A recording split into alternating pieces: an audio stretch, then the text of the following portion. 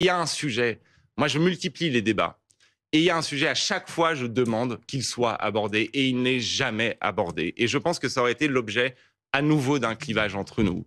C'est la question du féminisme, c'est la question du droit des femmes, c'est la question de l'égalité salariale entre les hommes et les femmes, contre laquelle Rapidement, vous avez voté. Monsieur Bellamy, euh, au Parlement européen. Et donc, je veux porter ce projet d'une Europe féministe qui lutte efficacement contre les violences faites aux femmes, qui porte la clause de l'européenne la plus favorisée et qui permettent à chaque Européenne de jouir des droits les plus favorables en Europe. Une quinzaine de secondes de, différence. Euh, merci beaucoup d'avoir accepté ce débat. C'est vrai qu'il y a d'autres sujets qui auraient pu euh, être Et abordés. celui-là, mais- il est tout le temps éjecté. Non, il- je crois que honnêtement, tous ceux qui nous ont regardés là pourront Oui, mais considérer c'est la même chose à chaque débat. C'est je sais pas vous Personnellement, c'est la première fois que vous débattez ici, donc euh, pour le coup, moi là-dessus, j'ai pas mais beaucoup à d'ancienneté. chaque Mais débat, je demande mais je que mais j'espère- on parle du droit des mais- femmes et à chaque et vous débat, avez on pu- me dit oui à la fin, il n'y a pas le temps.